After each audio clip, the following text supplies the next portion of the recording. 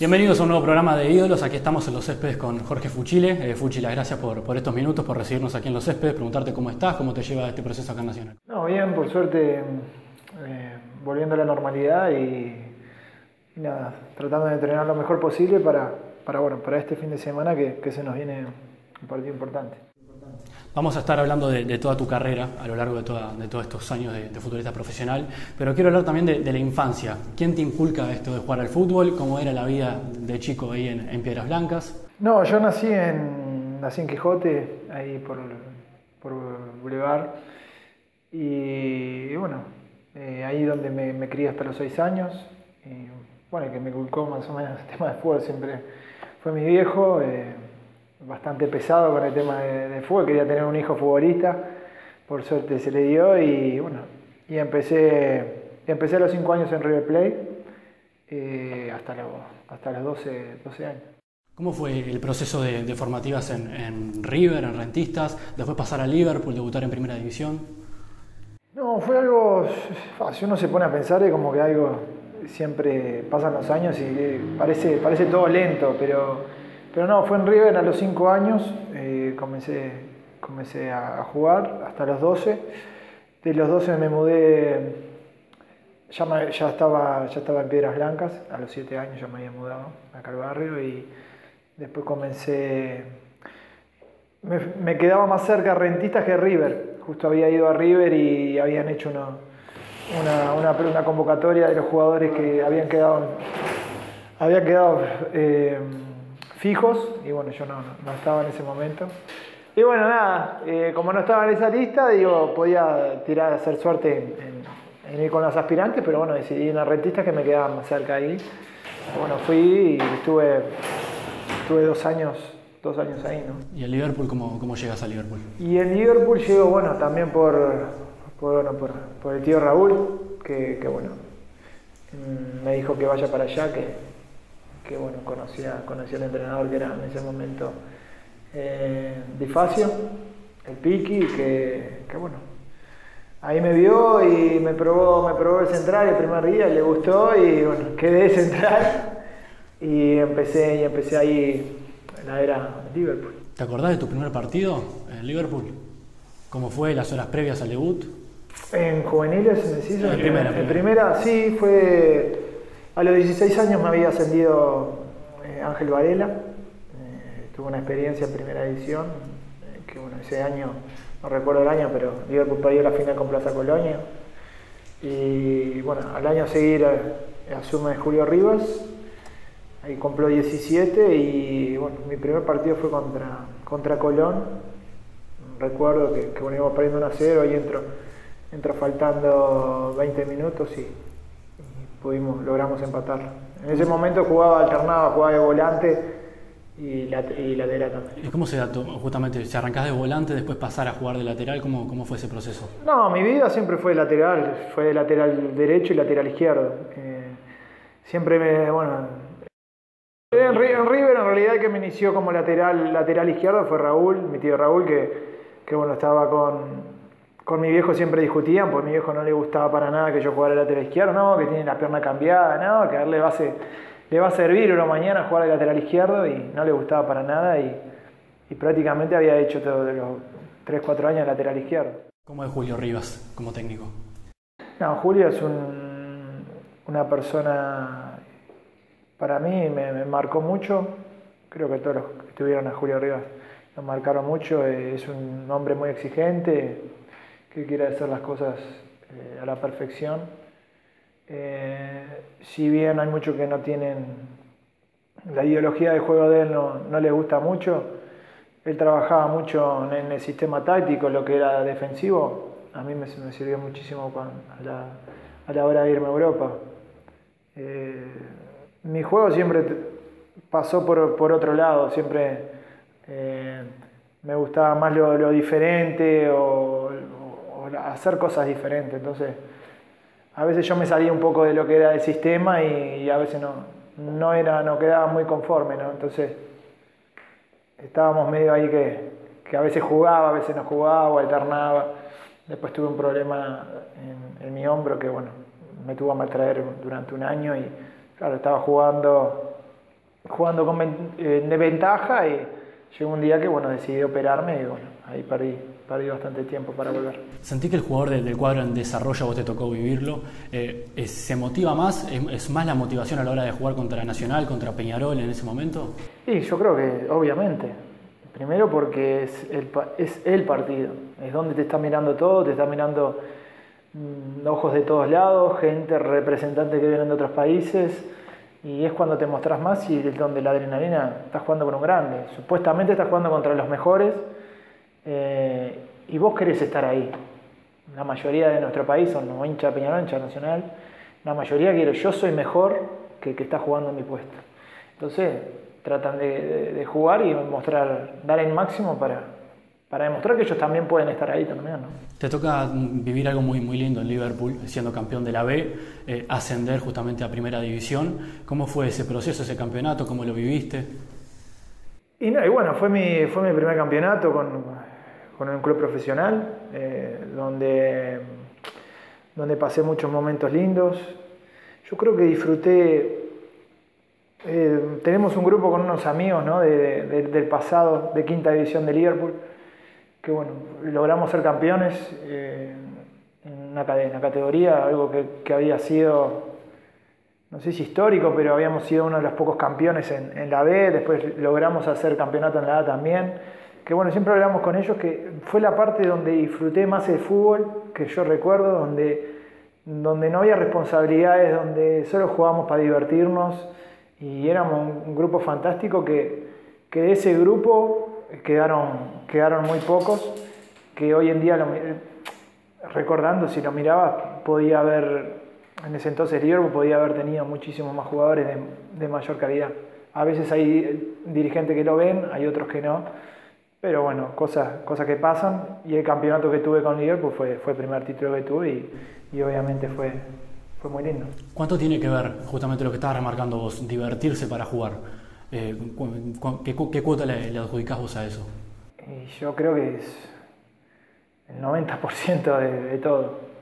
Porque si no te divertís jugando, tenés que, tenés que dejar. Porque el fútbol, el fútbol es disfrutarlo, es, es divertirse si te pones, te pones el, eh, ese manto de, pesado de que voy a jugar y mañana... es lindo tener la presión de que tenés que ganar todos los fines de semana, tener la responsabilidad que eh, en este caso defendemos al cuadro más grande del país y tenés que, tenés que ganar. Entonces, qué más lindo que tenés la obligación de ganar y, y al mismo tiempo divertirse. Eh, obviamente que a veces los resultados se dan, hay veces que no, los otros equipos también juegan. Y bueno, cuando te tocan las feas, eh, siempre es más costoso. Pero si uno, revierte las cosas divirtiéndose, es mi manera de pensar, es mi idiosincrasia de vida. Hay muchos que no están de acuerdo como yo pienso y otros sí. Y bueno, hay otros que vos los más mentalizados, más metidos, más concentrados que lo ves yo de mi manera, mi punto de vista, trato de divertirme y, me concentro de esa manera. Hablamos un poco del salto a Europa, porque no, no sea todos los días que un jugador de, otro equipo que sea inferior, por ejemplo Liverpool en este caso, eh, que salte directamente a Europa sin un paso antes por, por un grande o por otro equipo de primera división o mismo por, por acá del continente. Vos saltás directamente al Porto, un equipo grande de, Portugal. Sí, eh, tuve posibilidad de venir, recuerdo para, Nacional que me quería, me quería préstamo, pero bueno, Palma era muy, es muy reacio en el tema de, los cuadros grandes y, no le gustaba prestar a ningún jugador. Eso obviamente siempre tenés que pasar por un grande para recién irse. Y bueno, yo tuve la posibilidad de irme a Liverpool, también gracias al maestro que, me convocó en esa era que, hubo el cambio generacional que, que llamó de equipos diferentes de los que estaban andando mejor. Y tuve la posibilidad de ir a selección y bueno, tuve la chance de, de, ir a Portugal, ¿no? ¿Y llegar a Europa cómo fue? ¿Los primeros días, la adaptación? No, fue, fue, fue bastante difícil los primeros dos meses, creo, porque eh, uno hacía la diferencia acá siendo rápido, ágil, y, y uno tenía, sacaba esa diferencia acá en el fútbol local. Ahora uno cuando va a Europa se encuentra que son eh, más ágiles que vos, más rápido que vos, igual de rápido que vos, y ya tenés que pensar otra manera de encarar la situación futbolística, porque sabés que en eso te van a superar o van a ser iguales que vos. Entonces tenía que pensar al otro día qué tenía que hacer para revertir lo que había hecho de mal ese día. Entonces me iba mal para, para el hotel, me acuerdo, eh, me iba llorando porque o sea, me pintaban literalmente la cara. No te salían las cosas como Y no salían las cosas como uno quería, ¿no? Entonces me iba, me iba re caliente, crañándome la cabeza qué iba a hacer al otro día, qué tenía que hacer para mejorar yo, ¿no? y sabía que tenía que ser más simple, tenía que ser más eficaz, entonces bueno, el otro día me concentraba más y bueno, y a medida que iba pasando el tiempo veía que me iba adaptando más hasta que me, gracias a Dios me tocó la oportunidad de jugar un partido importantísimo que era, que era por la Champions League. Por la Champions League justamente, pero también aparte de todo eso, eh, se fueron saliendo de a poco las cosas, 12 veces campeón en el Porto, una de ellas de la Europa League y además como vos decías también jugar una Champions que me imagino que es increíble. Sí, es increíble por, por, lo que es la Champions y el sueño de todos que miramos y consumimos todo lo que es a nivel europeo. Pero yo recuerdo mucho el primer partido porque en mi posición jugaba Bosingua, que era un lateral que bueno, jugaba en el Chelsea, imponente. Y claro, era difícil tener la chance. Bueno, y él tuvo un mal traer, un problema con el entrenador. Y me tocó ir a la cancha a mí y bueno, la supe aprovechar y claro, Ganamos 4-1 contra Hamburgo y bueno, a seguir jugamos un clásico contra Sporting, em, creo que empatamos, después Benfica ganamos y claro, el entrenador no podía como sacarme y, y me pregunta un día que jugamos en Hamburgo, allá en, en Alemania, me pregunta, eh, Fuchile, eh, ¿jugaste alguna vez lateral izquierdo? Y yo le digo, sí, yo ya jugué. No, no había jugado nunca, el lateral siempre estaba jugando lateral. Y me puso, sacó a Marek Ček, el eslovaco, y me puso a mí y a partir de ahí no. No saliste más y bueno, se da todo lo que, lo que decíamos después de ganar 12 veces en, el Porto. Eh, vos me imagino, salías a la cancha en el partido de Champions, el primer partido, mirabas para todos lados y ¿qué, qué hago acá yo? ¿Qué, ¿Qué, estoy haciendo? ¿Cómo era el tema? Sí, no. Eh, en realidad en ese momento tenés que pensar eh, en el momento y lo que estás viviendo. Después es un partido más como todo. Eh, sentís el, grito, sentís el murmullo de la gente, pero lo que te tenés que concentrar es, en el partido, en lo que vas a hacer vos. Sabés que tu momento, es tu vida y es donde lo tenés que aprovechar, porque en ese momento es una vez en tu vida que se te puede dar y el tren te pasa una vez y lo tenés que aprovechar en ese momento. Y hoy ver un partido de la Champions, eh, jugar al play y escuchar la musiquita, ¿qué, qué te genera? No, yo a veces me, con mis compañeros bromeo, no, jugaste Champions. Uno a veces pierde la noción de, capaz que ahora no caí, pero más adelante cuando pare de jugar al fútbol recordaré esos momentos, pero como que ya fue vivido, lo disfruté al máximo, eh, fue importantísimo, pero ya es pasado, ya, ya, ya fue. O sea, lo que hice ya quedó en el pasado y ahora se presente y es lo que estoy haciendo hoy, es, es el ahora. Entonces me centro y me, trato de concentrar en el, día de hoy. ¿Se te enojó el entrenador del Porto cuando, cuando picaste aquel penal? Sí, se enojó, se enojó porque me había dicho ese momento, me dice, eh, Fuchi, mirá que si, si, haces alguna cagada, algún, algún invento, yo no, vas a patear nunca más un penal.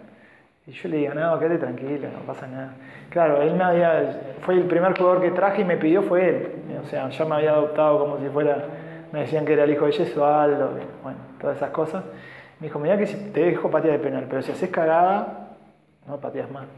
Y justo viene el, Lucho González, el argentino, y con Lisandro López, y dice, ah, Fuichi, sos cagón, no, no tenés huevo de picarla. Jugamos una comida, me dice. Jugamos una comida, una apuesta, una comida, bueno, pues dale, dale. Entonces fui yo, pa, y vamos. Y la pinché y ahí dice, claro, no pateé nunca un penal, me gané la comida, ¿no? Pero no pateé nunca un penal. ¿Y el entrenador qué te dijo en ese momento? No, dice, insultaba y nunca más vas a patear un penal. nunca más. Y después pasaste también, fuiste a préstamo el Santos. Eh, ¿cómo, ¿Cómo es compartir un vestuario con Neymar? No, la verdad que Neymar es muy, una persona muy humilde, un pibe de barrio que, que la verdad te sorprende todo, todo lo que genera, genera, genera en Brasil ¿no? y hasta hoy en día, y lo que generaba en Santos. Eh, era la prensa, venía de San Pablo, toda la prensa de San Pablo venía a... Todos por Neymar. Todos por Neymar, y una cámara por Neymar, que era lo que hacía Neymar. Eh, y, el pibe, un, el gurí, humilde total, desde el primer día que llegué, la primera semana, me dice, Fuchi, mirá que es mi cumpleaños, venite, venite para acá que, que voy a hacer una fiesta. Y la verdad me trató siempre espectacular y, hoy en día no hablamos, pero si nos vemos no, seguramente nos vamos a reír mucho. Ahora para bailar samba medio, ah, medio quietito usted. Y bueno, y eso sale, eso de adentro, eso lo llevan en los genes los brasileños, ¿qué va a hacer? ¿Te tocó ahí? ¿Te, te, te, increparon un poquito? Me increparon, lo que pasa teníamos, teníamos un eh, Carlos creo que era, se llamaba, el entrenador de goleros, que era medio uruguayo, medio brasilero. Entonces, bueno, con él hablaba, hablábamos uruguayo, claro. tiempo, el mate, que esto, que lo otro. Yo mate no tomo, entonces nos teníamos decía, yo no tengo cómo vas a tomar mate, decíamos. Y bueno, siempre andábamos ahí hablando un poco de todo y, bueno, después con los brasileros eh, es como que otra, a diferencia de los portugueses, como otra vida, son más, son más, van, entrenan, son muy profesionales, eso sí, pero que están en la de ellos y, y es entre ellos nada más, entre brasilero y brasilero, no es que quieran hacer una amistad contigo y vamos a salir, vamos a comer algo. los portugueses son más, más familiares, más que, bueno, nos juntamos, vamos a comer, hacer más amistad mucho más fácil. ¿Te costó desde el punto de vista de adaptación, de, pasar de, Uruguay a Portugal, de Portugal a Brasil? Sí, en, Brasil eh, la adaptación en el tema futbolístico, jugué 15 partidos antes, antes, de, que me, antes que me lesionara del pie, que tuve una fisura ahí en el pie, que me, me hizo perder todo. Que bueno, me tocó jugar Libertadores, Paulista, y bueno, la gente me había tomado muchísimo cariño y me quería muchísimo en esos partidos y bueno, hasta me decían, Fuchi, pa, queremos pintarte en el, muro, que estaban todos los jugadores que, que habían salido campeón de la Libertadores, y digo, yo no gané nada, están locos en la cabeza, le digo yo, no soy nadie. Te ganaste el cariño de la gente. Me había ganado el cariño de la gente hasta el último partido paulista que teníamos que jugar con Catando Vence, me recuerdo, y, y estrenamos camiseta y todo, pila de color y para jugar el cuarto de final con San Pablo. Y me acuerdo que Mauricio había dicho, vamos a jugar los que no habían jugado el fin de semana para, para tener fútbol. Y bueno, en, esa, en esas cosas de fútbol, bueno, tuve la mala suerte de que me, me pasara eso y ahí quedé, quedé propenso fuera de todo. Te propongo una, una, breve pausa, después la vamos a hablar de todo el proceso de la selección uruguaya, que hay bastantes cosas, nada más y nada menos que todo el, Mundial de Sudáfrica 2010, y bueno, hablar de esta llegada nacional, cómo, cómo te trata, cómo, qué cariño ha recibido toda la gente. Una breve pausa y seguimos con Jorge Fuchila aquí de Los Céspedes, eh, disfrutando de este programa de día.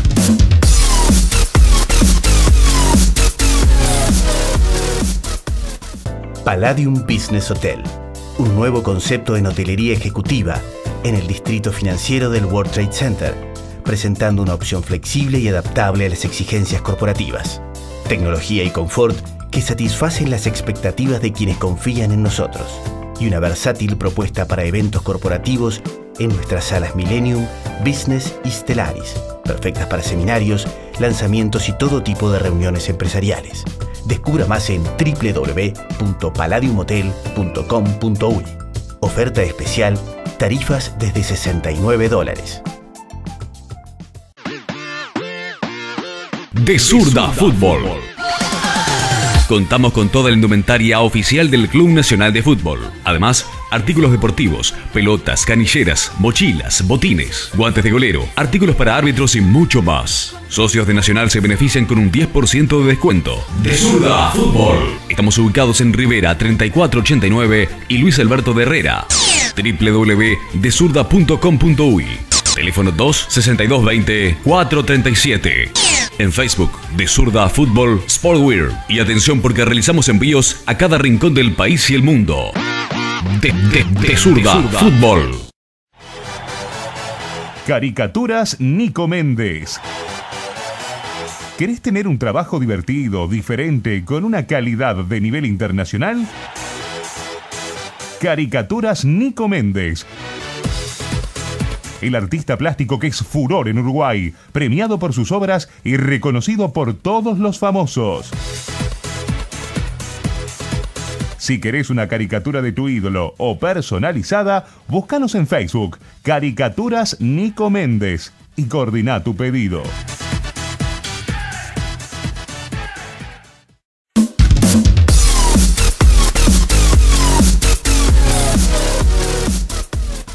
Seguimos de los céspedes con Jorge Fuchile. Eh, Fuchi, hablamos antes de la pausa de todo lo que fue el proceso hasta llegar a, Hora Nacional, pero quiero detener un poco la selección uruguaya, porque se te da algo que no a todo el mundo se, le da, ser el mejor lateral derecho del Mundial de Sudáfrica 2010, eh, tener, ser tenido en cuenta por el entrenador de lateral izquierdo, vos ya lo decías, sos lateral derecho, o por lo menos te, te formaste como lateral derecho también. ¿Cómo fue llegar a la selección, que te reciba el maestro Tavares? Y creo que fue ese, creo no, fue el sueño de, toda mi vida llegar a la selección. Em, y después ser convocado a una gira a Estados Unidos y, bueno, poder, poder vestir la, celeste fue, creo que fue lo más grande que, me tocó en el fútbol. Debutás en el 2006, como, ¿cuál fue la sensación del momento, el, partido justamente, eh, lo previo, todas las horas previas también, qué se te pasó por la cabeza? creo que fue el partido con más tensión y nervios que tuve, fue, fue ese contra, contra Romaña, que, bueno, pudimos, pudimos lograr la victoria. Y bueno, jugando con jugadores que bueno, que hoy en día ya no están, pero, pero bueno, ejemplo Pablo García, que, estaba, que estaba en ese momento, y, bueno, ahora no, no, recuerdo los otros, pero ah, teníamos, teníamos jugadores que ya, ya habían tenido muchísimo trajín en la selección y, y estar ahí y escucharlos a ellos era, era importantísimo. Hablamos un poco del, Mundial de Sudáfrica 2010. Como decíamos anteriormente, te tocó ser elegido por la FIFA como el mejor lateral derecho. Se da algo insólito y creo que no, no se ha visto en la historia del fútbol lo que pasó contra Sudáfrica.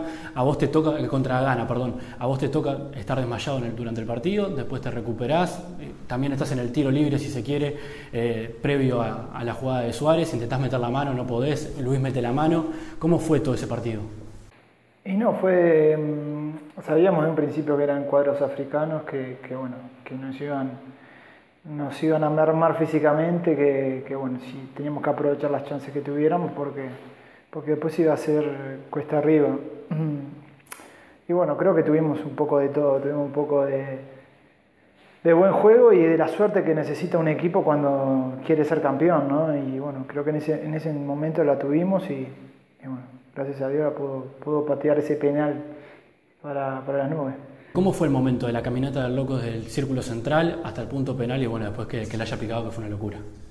Sí, no, de tensión, de nervios, de, saber de saber que si el loco hacía ese penal no, nos poníamos, volvíamos a estar en la historia, de llegar a, semifinales del Mundial y poder pelear un título del mundo. Y, y bueno, ya bueno, en mi, cabeza ya estaba que el loco la, iba a picar, obviamente.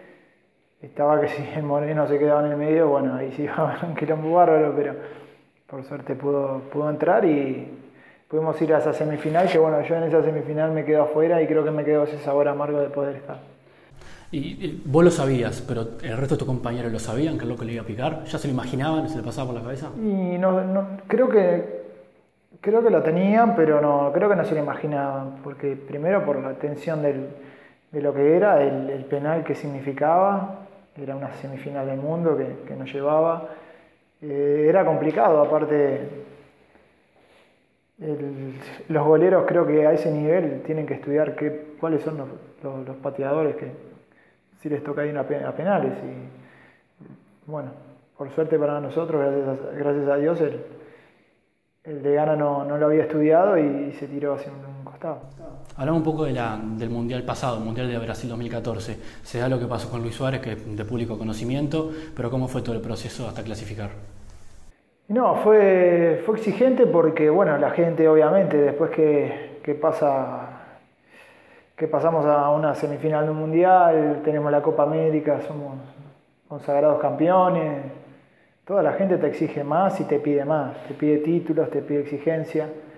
Y yo no quiero ser mezquino tampoco, digo, antes de todo esto, porque ahora la gente se acuerda de todo esto, antes de todo esto éramos una de las peores selecciones de América. Eh, si bien no recuerdo, estábamos entre Bolivia, Perú y Uruguay. Que fuimos a Perú, que nos tocó, eh, te estoy hablando de Sudáfrica, nos tocó que perder con Perú y prácticamente estábamos afuera de, del mundial y, éramos unos villanos, éramos un desastre, éramos lo malo de la película. Y, bueno, y ahora estamos como quien dice arriba de la ola, eh, somos unos monstruos, eh, somos esto, somos lo otro.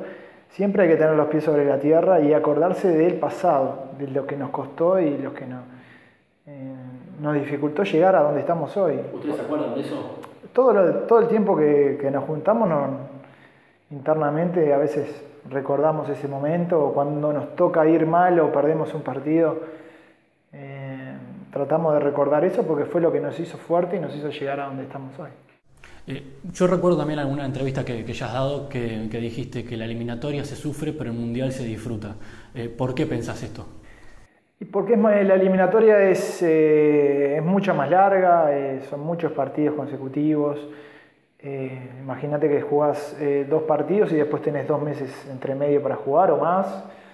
Si te toca perder entre dos meses, perdiste los dos primeros partidos, sabés que tenés la presión de ganar al próximo partido, tenés dos meses para jugar vos en un mundial perdiste un partido, sabés que a los tres días tenés revancha y podés lograr, lograr una victoria y ya con tres puntos ya podés pensar que con cuatro podés pasar. Acá si no haces puntos, quedas afuera. Es así. Y acá tenés mucho tiempo de espera para de un partido a otro, ¿no? Y aparte que todos, todos nos conocemos, todos sabemos eh, cómo jugamos, eh, cómo juega tal los, equipos, entonces es más, es más complicado. Habla un poco de la Copa América 2015, la última, que te toca ser expulsado contra Chile, eh, se da todo lo que se dio con el tema Jara Cavani, ¿cómo lo vivían ustedes dentro de la cancha y bueno, después pasando las horas en el, hotel, en el vestuario? No, y bueno, fue reflejado lo que se vio, lo que se vio este partido, con las ganas de, revancha, de volver, de volver a enfrentarnos, de, demostrarle que, bueno, que fue una injusticia el partido que, que nos tocó perder allá si bien vuelvo a repetir, Chile tiene un equipo bárbaro que juega muy bien el fútbol. Eh, ese partido a nosotros no se nos, fue sacado de las manos porque bueno, el árbitro definitivamente volcó, el partido para ellos. ¿Qué, evaluación haces de este momento de la, selección uruguaya? Eh, la verdad, contentísimo, feliz de cómo estamos, estamos encarando esa eliminatoria. Eh, arrancamos con el pie derecho y, y esperemos seguir así y lo vamos a seguir así va, a tener que ser así en todo momento. ¿Te sorprendió alguna cara nueva de esta renovación que hizo el maestro Tavares? ¿Alguno que esperabas que por ahí no pudiera estar y finalmente se metió? No, creo que, el maestro tiene, tiene muchísima experiencia para saber quién está en su mejor momento y quién tiene que estar. Durante años y creo que ya le queda poco tiempo para, para ser el entrenador con más, más juegos en una selección, creo que habla por sí solo.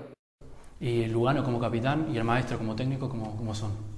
en el día a día, más allá del capitanato dentro de la cancha, del maestro como hacían los entrenamientos, como persona más o menos?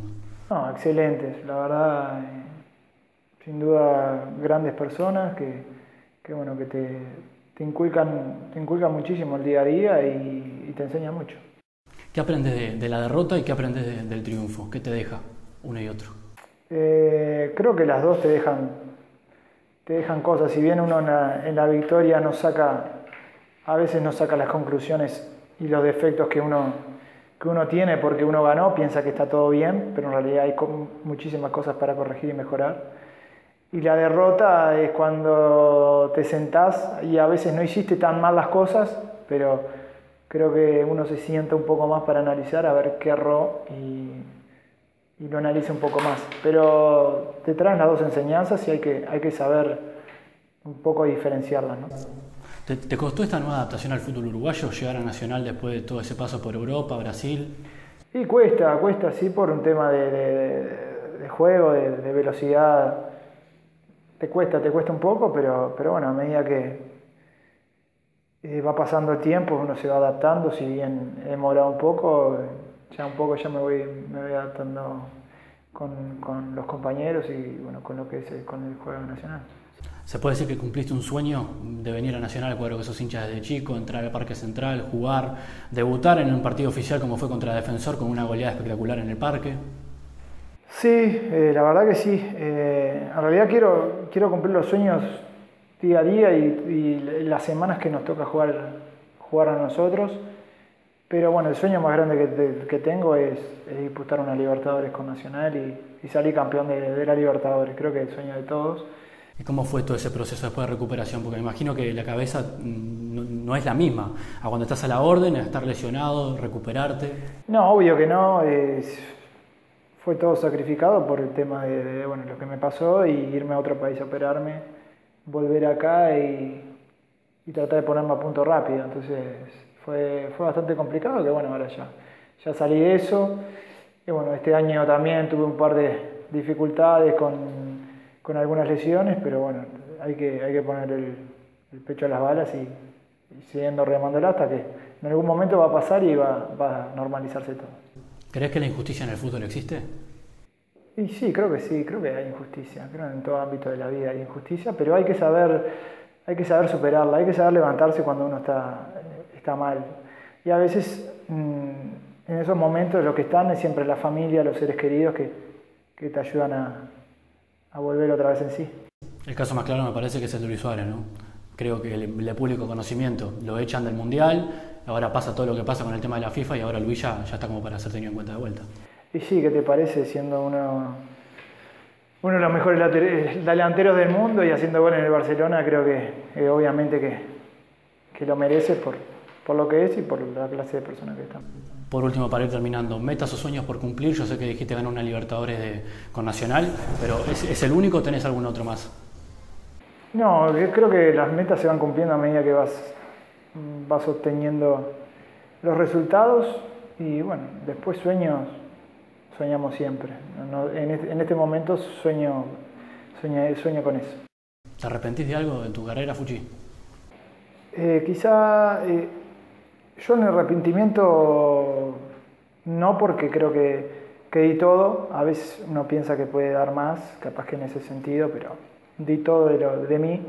Lo que me quedó en mi carrera es que, bueno, en, Porto no, no, tuve la chance de irme a otro club de Europa y, y demostrar mi, mi, valía en otro club más grande. Y Porto no, no me dio esa oportunidad, eh, no, no decidió dármela y me quedó esa, ese remordimiento de que no fue por mí, sino que por un club no me dejaron las puertas abiertas para, para demostrar y estar en otro nivel.